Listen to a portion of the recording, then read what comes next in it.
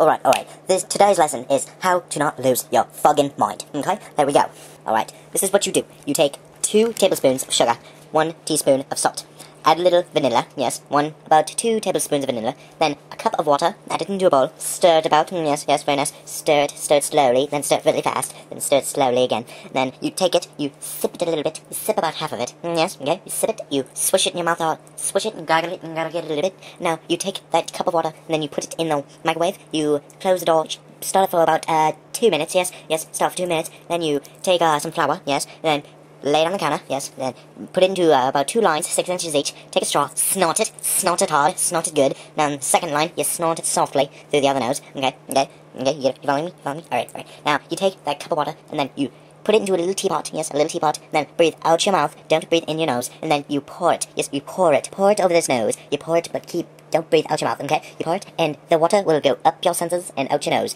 out your nose, out your other nose, okay, alright boys and girls, you've learned it, you saw it, you've done it, you have now learned how to not lose your fucking mind, alrighty then.